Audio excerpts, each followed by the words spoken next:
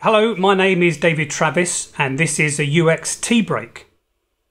In this episode, I'll be looking at the relationship between user experience and psychology. And in particular, I'm answering a question from somebody in my Udemy class. Her name is Amy Simcock. And Amy says, I just enrolled in a grad course in psychology that I'll be doing at the same time as my full time UX role, where I'm the sole UXer at the company. Tell me why I won't regret it. Well, um, a full disclosure I have a first degree and a PhD in psychology, so clearly I'm going to tell you it's a fantastic idea. But actually, um, it comes with a proviso, and the proviso is it depends what kind of psychology degree you're doing. So, for example, not all psychology degrees are created equal. The ones that are most useful for a career in user experience are going to be those degrees where there's a strong focus on experimental psychology. So, experimental psychology is the discipline that teaches you how to run experiments to understand human behavior. It becomes your superpower once you're a psychologist if you've got that expertise. It means that people can ask you any question that they like about human behavior, and although you may not know the answer, you'll know about how to go about designing an experiment to come up with the answer that you're after.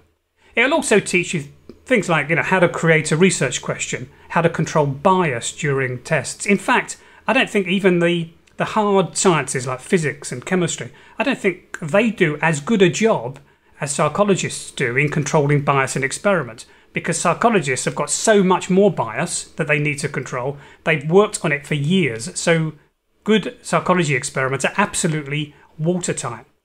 You'll know that your degree is covering experimental psychology if once a week, probably for an afternoon or a morning, there's a focus on running psychology experiments. So you'll be running experiments with people, probably your fellow students, but nevertheless, you'll be involving people, and you might be recreating some classic experiment from the past, or you'll be developing your own or answering your own research questions.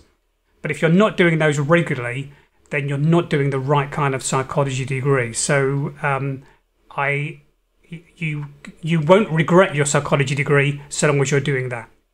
If you're not doing that, well, there's still something else you'll get out from your psychology degree, and that's the following, which is that you'll learn intuitively that you're not the user.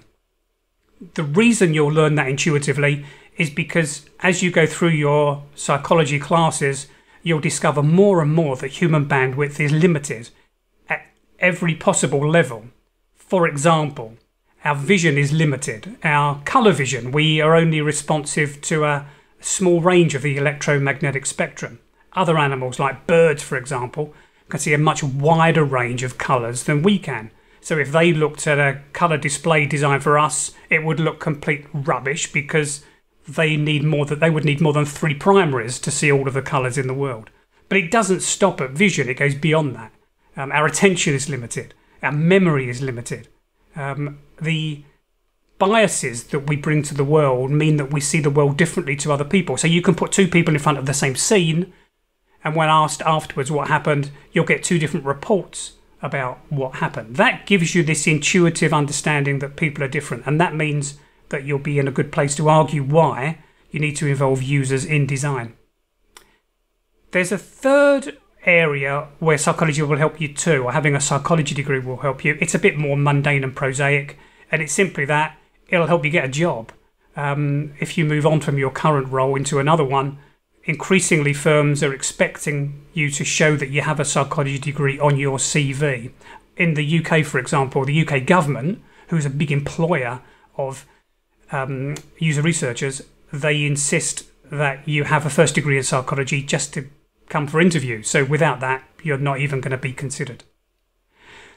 I hope you found that answer useful. Um, if you did, please subscribe to this video and then you'll hear about other UX tea breaks as soon as they're released.